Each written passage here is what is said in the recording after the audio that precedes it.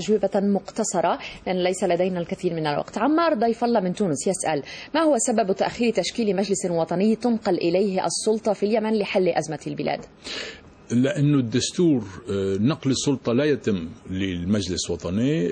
بالدستور بيقول بالماده رقم 11 و115 بظن إنه نقل السلطة بيتم من رئيس الدولة لنائب رئيس الدولة يلي له بدوره تحضير انتخابات رئاسية بخلال 60 لا 60 يوم, يوم بعدين. يعني السؤال هو عن انتقال السلطة للمجلس. هذا شيء مو وارد بالدستور.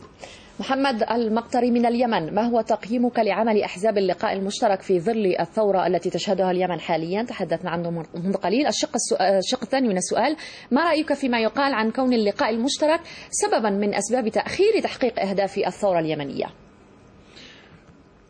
بظن آه لا ما ما بظن لهم دور بتأخير آه بس آه على المفاوضين على المسؤولين خلف المبادرة إنه يوجدوا محل أو حوار بالنسبة للشارع بالنسبة لثوره الشباب.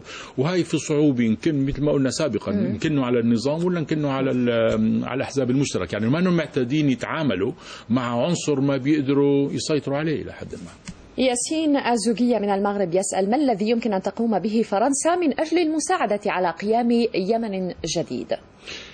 نحن مثل ما تفضل وقال الوزير من البداية عمن عم نطلب من كافة الأطراف أنه ترجع على طاولة المفاوضات وأنه نرجع لأنه الأسس المبادرة أسس الحل موجودة بالمبادرة الخليجية.